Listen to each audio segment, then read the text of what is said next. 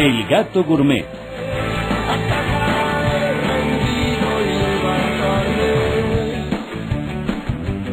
No, Diego, ¿sabes de dónde vienen las expresiones que no te la den con queso o estar en un brete?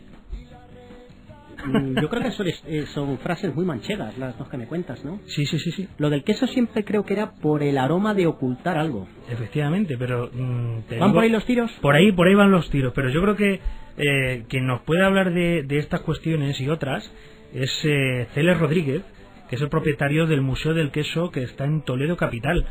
Y es un proyecto muy interesante eh, mm, en torno al, al queso manchego y, y bueno, que mejor que nos lo cuente él. Museo del queso, qué bien suena eso. ¿eh? Sí. Buenas noches, Celes, ¿qué tal? ¿Qué hay? Buenas noches, ¿cómo estáis? Bueno, pues cuéntanos, ¿en qué consiste este proyecto eh, con, Bueno. con el nombre Museo del Queso Manchego?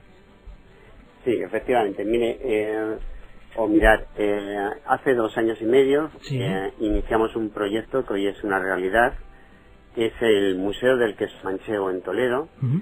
Eh, es un espacio dedicado al queso manchego, como el nombre indica, a- eh, y dado la pasión que tenemos en el- por el queso manchego, los vinos de la tierra y otros productos eh, también de nuestra tierra, iniciamos este proyecto para dar a degustar a la gente de todo el mundo, dado que eh, Toledo es un- una ciudad que vienen ciudadanos de todo el mundo y nacionales, dar a conocer el queso manchego, las propiedades del queso manchego y que supiesen identificar lo que es un queso manchego, eh, qué cualidades tiene, las eh, propiedades organolácticas del queso Sí. y eh, a través de, eh, de una experiencia como es la que ofrecemos en el queso manchego, en el Museo del Queso Manchego, damos una cata sensorial. Y les explicamos eh, cómo degustar de una forma especial, utilizando los sentidos, el queso manchego. Porque además, eh, ah. Si no recuerdo mal, tenéis tres salas de exposición con más de 70 objetos antiguos que están dedicadas un poco a esa historia, a esa elaboración del queso, eh, de, digamos, eh, herramientas, etcétera. Es decir, de, de alguna manera explicáis un poco cómo, cómo se crea ese manjar, ¿verdad? Nosotros lo que hacemos es que invitamos a, a pasar a todo el mundo, le- les explicamos que tenemos tres salas de exposición, una que es la sala de los oficios, dedicado al mundo del queso manchego, La otra de las salas es la sala de denominación de origen, raza y comarca. Sí. Va a explicar a la gente eh, identificar la zona, la raza de la oveja manchega. Y a continuación pasan a la sala de elaboración, donde se explica cómo se elaboraba el queso en la antigüedad Sí. Y cómo se elabora el queso en la actualidad, actualmente. Es un queso que tiene 2.000 años de historia y a través de las salas eh, toman la gente, pues eh, identifica o sabe qué es un queso manchego. Hay mucha gente que ha oído, sobre todo en otros países, lo del queso manchego y si bien eh, han probado queso que les dicen que es manchego, pero luego nos damos cuenta que realmente no lo han probado, porque nos hablan y nos dicen que han probado el queso manchego y que les gusta mucho el queso mezcla, cosa que es imposible, el queso manchego solamente puede ser de oveja y de oveja manchega, Sí. por lo cual luego a continuación de que ven el museo y nos hacen las preguntas habituales, eh, pasan a probar el queso. Eh, les ofrecemos una cata sensor- eh, sensorial guiada donde les vale 4 euros y en esa cata, eh, aparte de la explicación que les damos, prueban tres curaciones, las tres curaciones del queso manchego. Semicurado, curado y viejo, entre 3, 6 y más de un año. Acompañada o alineada con un vino de la tierra, como les gusta a ellos, blanco, tinto o rosado. Sí, porque vuestra vinoteca tiene más de mm, 400 referencias, de las cuales eh, más del 50%, el 60%, algo así, Sí, está de la, de- de la la que- denominación de origen Castilla-La Mancha. Correcto.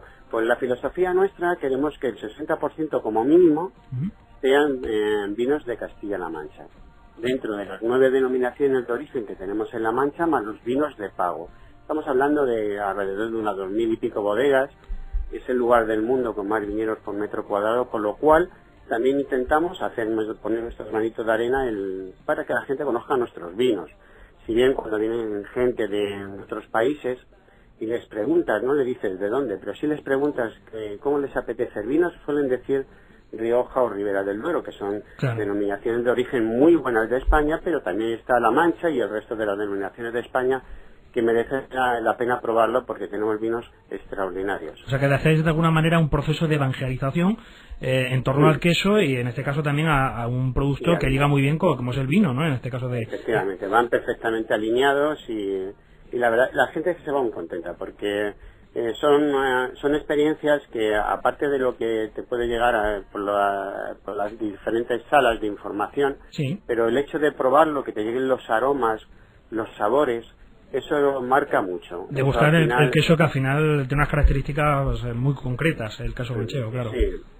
Yo, eso más que nada lo tenemos muy claro desde el principio cuando iniciamos el proyecto, que cuando tú viajas alrededor eh, de los viajes que haces a otros lugares de- que no es el tuyo propiamente, Sí. lo que te llevas más de un sitio son los aromas y los sabores. Luego está muy bien la historia de cada sitio, pero los aromas y los sabores van contigo, te acompañan. Y es un poco lo que nosotros queríamos eh, ofrecer a la gente, aromas y sabores. Porque luego Celes también en ese pequeño museo que donde, eh, como comentábamos, tenéis objetos antiguos, eh, explicáis un poco la historia la elaboración del queso manchego eh, y los oficios que engloban un poco ese, eh, eh, ese pastoreo, esa elaboración artesana del queso. Ahí también explicáis, si no recuerdo mal, cosas curiosas eh, como las que con las que abríamos el- el- la, la entrevista, que es que no te la den con queso, expresiones como esa, o estar en un brete, es decir, que es estar en un brete, Sí. por ejemplo. Sí, el brete eh, es curioso, eh, sobre todo en España y otros países eh, latinoamericanos, sí conocen la expresión, o sea, decir, eh, me encuentro como en un brete, esas situaciones en la vida Sí. que no sabes cómo escapar, ¿no?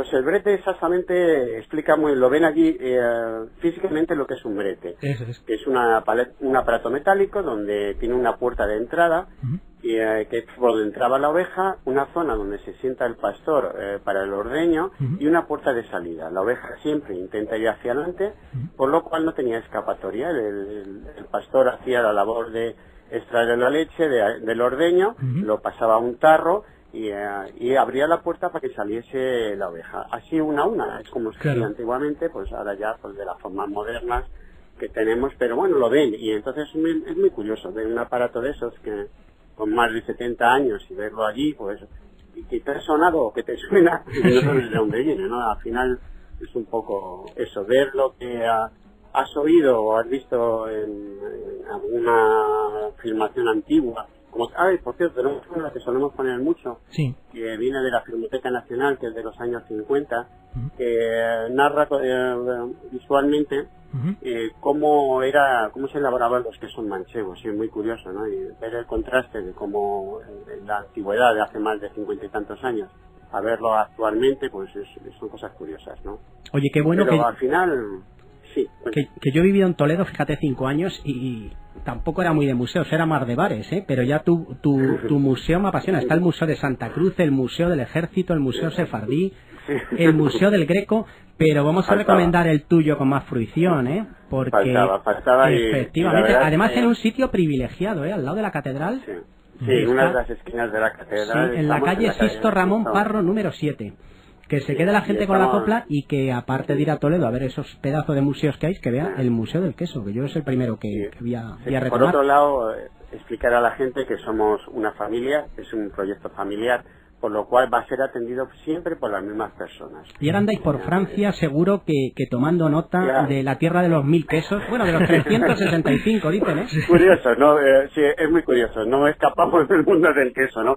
Siempre que buscamos, buscamos eh, eh, tanto las bodegas como los quesos. ¿no? Cuando viajamos eh, fuera de, de España, buscamos ver, a ver qué es lo que tienen en otros países, compararlo, ver un poco y... ¿Y lo qué que quesos ha sorprendido de Francia? ¿Qué, qué, qué habéis probado Bueno, así? aquí, aquí de, de momento lo que el- el hace es, llegamos anoche, y, eh, pero sí que hemos visto ya en todo alguno, pero en plan más, eh, que son más mantecosos, no de curación. Los ¿no? brie, los camembert, elemental... o- o- o- Sí, bueno, eso ya, eso es por demás. Acabamos, ahora mismo, justamente hemos probado un vino de, de aquí blanco, que ah, me recordaba mucho a, a los nuestros, a un verdejo nuestro. Por lo cual, siempre que viajas, intentas saber, eh, a comparar con lo que tienes y, y lo que hay en otros lugares, pero siempre eh, eh, lo nuestro gira un poco en el mundo de la gastronomía. No sé, cada persona tiene una pasión, la nuestra es, es esa. Pues eh, poner en valor el queso eh, en los productos de la mancha, en este caso también, por supuesto, el vino, eh, que es una de las grandes bodegas Castilla-La Mancha, y en ese proceso de evangelización, dar a conocer eh, esos productos, eh, es, el, es el objetivo del Museo del Queso Manchego en Toledo Capital, en calle Sisto Ramón Parra 7, al lado de la catedral. Pues muchísimas gracias, Celes, por atendernos. Pues, gracias siempre a vosotros, estáis invitados y por favor el día que vengáis por ahí preguntar decirme quién soy. Si no nos digas eso de que estamos invitados porque es el error que cometen todos los, los tertulianos aquí, no, nos invitan. No, no os preocupéis. Es que luego vamos, ¿eh? venid, Estás advertido. Realmente os recibiremos con, con los brazos abiertos y a todo el mundo que sepa que aquí va a ser atendido de una forma muy personal y que estoy seguro que se van a llevar una, una experiencia única. Pues muchas gracias, Cele. Ahí recomendamos Museo del Queso Manchego.